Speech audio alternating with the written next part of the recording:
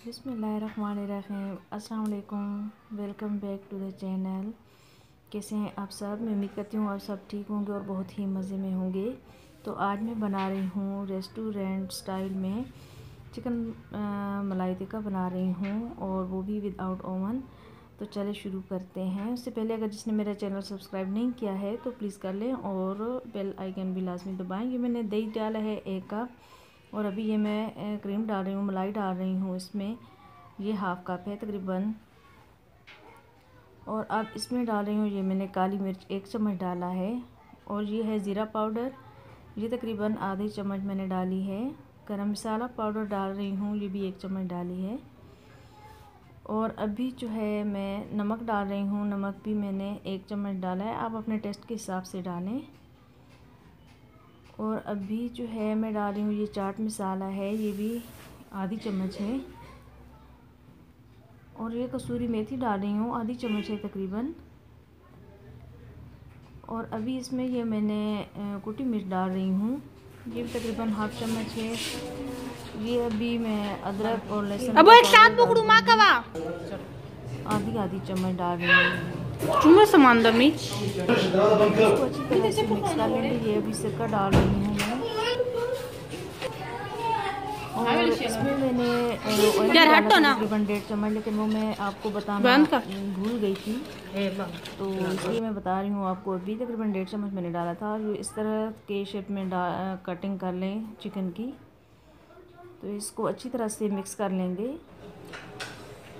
और उसको एक से घंटे के रख देंगे। तो मैंने यहाँ पे जो है स्टिक मैंने ली हुई थी उसको एक घंटे के लिए मैंने भिगो दिया था पानी में। तो ये अभी फ्राई पैन मैंने लिया है। कुछ भी ले लें आप इस तरह की नॉन स्टिक की चीज़ ले लें। तो इसमें मैंने ऑयल लगा दिया है। ये मैंने स्टिक में डाल दिया था। ये सॉरी मैं आपको बताना भूल गई। दिखाना दिखाया नहीं है मैंने आपको। इस तरह से इसको रख देंगे। तो ये मैंने अभी इसके ऊपर जो है मसाला थोड़ा थोड़ा मैं ये ऊपर से और भी लगा रही हूँ, ताकि बहुत अच्छे से बन जाए स्पाइसी तो इसको इस तरह से पलट देंगे। पलट के ऊपर से जो है हम ढक देंगे, ताकि अच्छी तरह से गल जाएँ। यहाँ पे मैंने कोयला रख दिया है, ताकि कोयला गर्म हो जाए जब तक हमारे जो है चिकन मलाई टिक्का तैयार हो जाए, तब तक ये भी कोयला भी तैयार हो जाएगा। तो ये देखें इन्होंने पानी छोड़ दिया है अभी। और इसको जो है अभी फिर पलट देंगे, इस तरह से पलटते रहेंगे। और ये जो मसाला इधर उधर हो गया है, इसको किसी भी चीज़ की मदद से हम लोग यूँ इस तरह से इसके ऊपर फिर लगा देंगे। तो अभी जो है,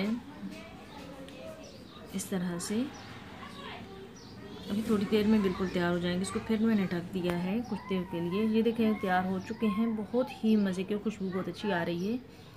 तो अभी जो है इसमें कोयला, किसी भी चीज़ में आप रख दें।